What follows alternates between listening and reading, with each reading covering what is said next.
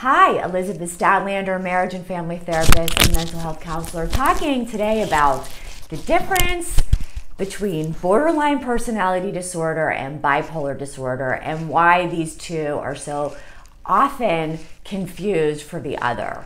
Um, it's a very interesting topic, and I get this question all the time. Hey, I think I have bipolar disorder. My physician diagnosed me with bipolar disorder. Oh don't what am I going to do? And I said, well, come in and let me evaluate you. And indeed, you know, my view, they certainly do not have bipolar disorder. They are borderlines. So let's talk about first what each one of them is. So bipolar disorder is considered a mood disorder and is in the mood disorder section of our diagnostic manual. And bipolar disorder is very much like what it sounds like. So we have two polarizations of mood.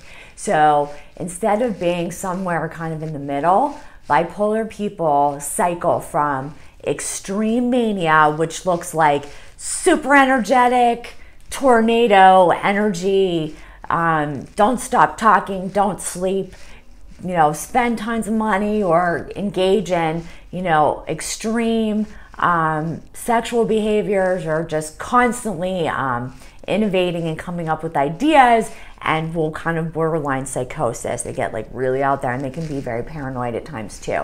Okay, so that's mania. And then they'll go from a couple of months of mania plummeting down to severe crippling depression.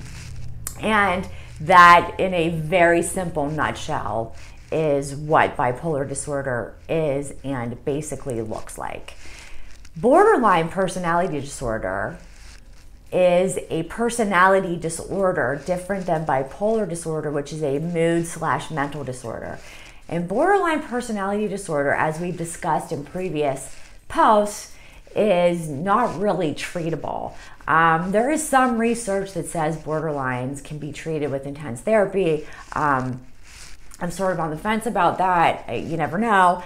Um, but bipolar disorder can only be treated, in my personal opinion, with medication, and that's the end of the story. There's no discussion about that. And meds don't really do much for borderlines because it's just a personality, it's the way they are. The reason they get confused is because borderlines are moody as hell. Uh, borderlines can be rageful for no reason, explode. Um, they can feel um, very empty inside for an hour or two, and they'll get super depressed and be very, very moody. And then a few months, I mean, excuse me, a few hours later, boom, they're out of it and they're they're fine.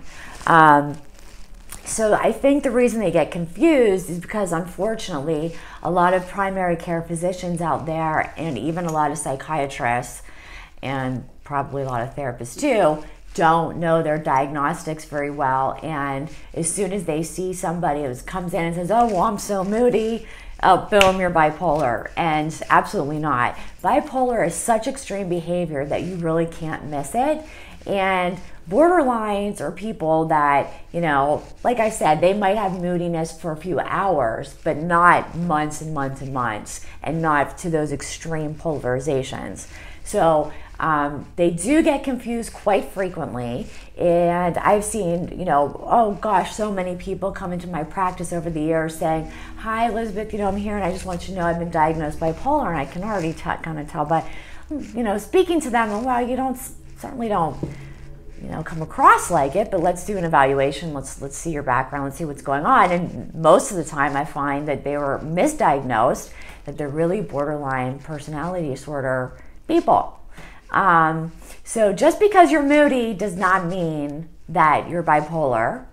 And just because you're extremely moody doesn't mean you're bipolar. Um, borderline personality is extremely common and is probably prevalent in a, at some level or the other in it, roughly 20% of the population, but I think probably even more. That's what the most recent research says, but I think um, it's probably even higher than that.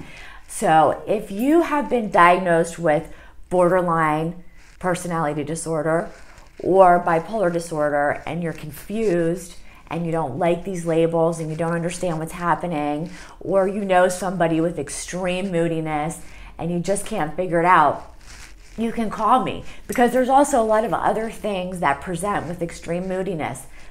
Depression, obsessive compulsive personality disorder and ADD, ADHD, OCD, all of the letters, all of the initials um, can can certainly cause people to be very temperamental and very moody.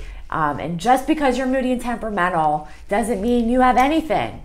You just might be moody and temperamental, right? It doesn't always have to be a diagnosis. So, again, if you've been diagnosed and you're confused or you feel like you might have something going on with you and you would like me to evaluate you, very important to do this. Come see me at eliztherapist at gmail.com and I look forward to seeing you in my office.